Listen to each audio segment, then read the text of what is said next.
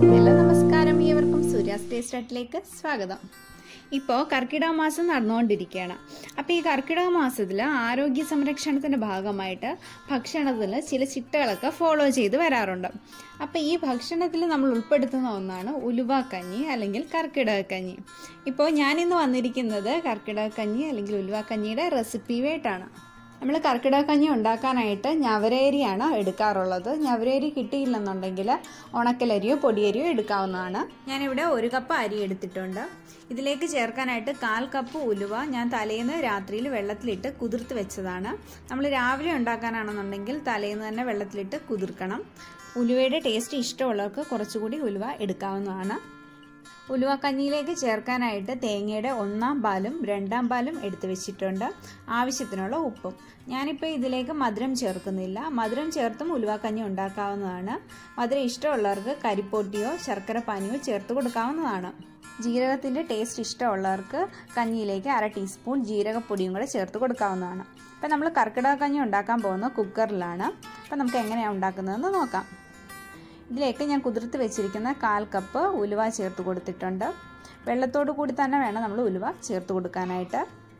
ഇതിലേക്ക് കഴുകി വെച്ചിരിക്കുന്ന അരി കൂടി ചേർത്ത് കൊടുക്കാം. നമ്മൾ എടുത്ത് വെച്ചിരിക്കുന്ന തേങ്ങയുടെ രണ്ടാം പാലിലാണ് ഉലുവായും അരിയും വേവിച്ചെടുക്കാൻ പോകുന്നത്. ഒരു തേങ്ങയുടെ പാലാണിപ്പോൾ എടുത്തിരിക്കുന്നത്. ഇപ്പോൾ കർക്കിടക മാസത്തിൽ ഔഷധക്കഞ്ഞി കുടിക്കാൻ പറ്റിയില്ലെങ്കിൽ നിങ്ങൾക്ക് ഉലുവാക്കഞ്ഞി ഉണ്ടാക്കി കുടിക്കാവുന്നതാണ്. ഇപ്പോൾ തേങ്ങാപ്പാലിൽ നന്നായിട്ട് മിക്സ് ചെയ്തെടുത്തിട്ടുണ്ട്. ഇനി നമുക്ക് കുക്കർ അടച്ചു വെച്ച് ഒരു വിസിൽ അടുപ്പിച്ചെടുക്കാം.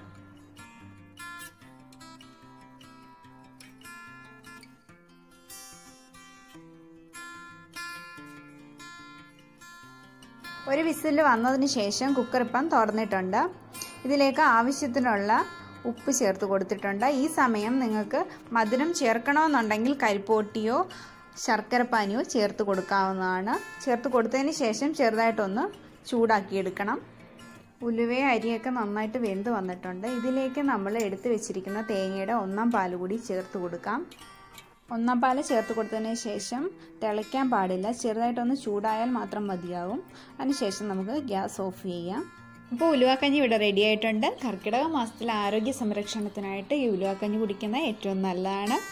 അപ്പോൾ എല്ലാവർക്കും ഈ വീഡിയോ ഇഷ്ടപ്പെട്ട് കാണുമെന്ന് വിശ്വസിക്കുന്നു. ഇതുവരെ എന്റെ ചാനൽ സബ്സ്ക്രൈബ് ചെയ്യാത്തവരുണ്ടെങ്കിൽ സബ്സ്ക്രൈബ് ചെയ്യുക ലൈക്ക് ചെയ്യുക ഷെയർ ചെയ്യുക കമന്റ് ഇടുക. അപ്പോൾ നാളെ നമുക്ക് മറ്റൊരു വീഡിയോയുമായി കാണാം. അതുവരെ this Surya Ranjith from Surya tasted thank